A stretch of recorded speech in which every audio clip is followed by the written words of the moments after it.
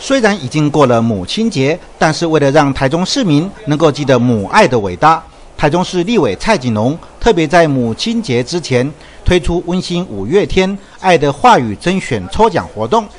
母亲节之后的六月十四号，并且在律师跟民众的见证之下，在立委蔡锦龙服务处门口抽出了几十个奖项。对，如果能大家啊，在妈妈啊还在跟我们身边的时候呢。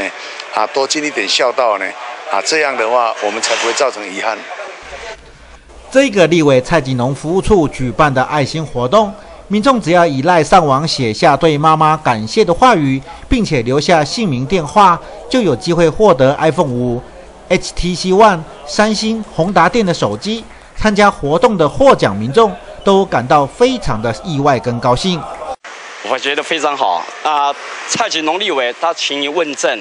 啊，也对那个民这个我们一般的民生或者是国家的建设都很关心。立委蔡锦龙表示，推出这样的活动是他最高兴的事，让妈妈们感受到子女的孝心，可能是全世界母亲最大的幸福。蔡锦龙还感性的说，